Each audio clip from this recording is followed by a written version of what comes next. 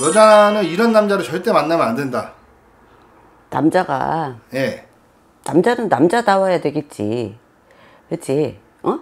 남자가 뭐 비실비실하고 말도 잘 못해. 자기 표현도 잘 못해.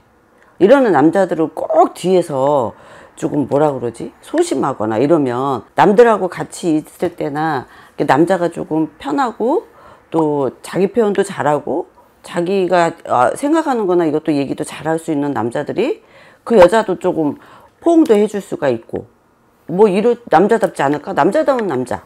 어. 그런 남자. 비실비실한 남자는 어디 가도 내 소견을 말할 수 없으면 또 인생이 그럴 것 같아. 그래서 그런 남자들은 만나면 안 되고. 비실비실한 남자들. 음. 그리고 또 그 뭐야 그 저 뭐야 자린고비 같은 남자들. 돈 안 쓰는 남자. 돈 안 쓰는 남자들. 아우 그거 참 어렵지. 어디 가서 진짜 커피값 하려면 뭐 신발끈 뭐 운동화끈 메고 그런다고 그러잖아.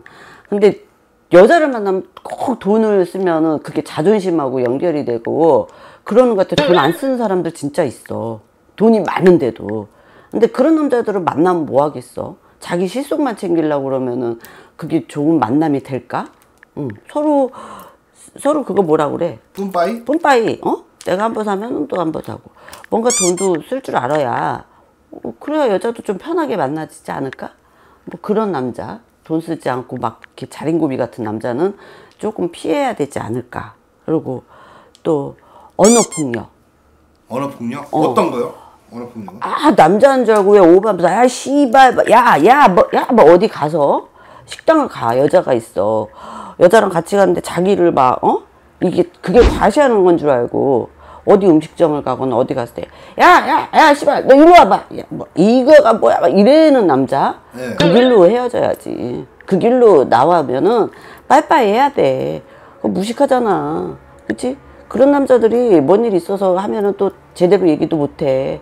어? 약자한테 강하려고 그러고, 어? 강자한테 약하고, 이런 남자 재미없어. 그러니까 그런 남자들 만나면 안 돼. 그런 남자들은 한 번, 두 번 만나보면 지금 내가 만난 세 가지의 유형의 남자들은 한 몇 번 만나보면 금방 그게 나와. 그게 몸에 배 있는 건데 그게 어디 가겠어?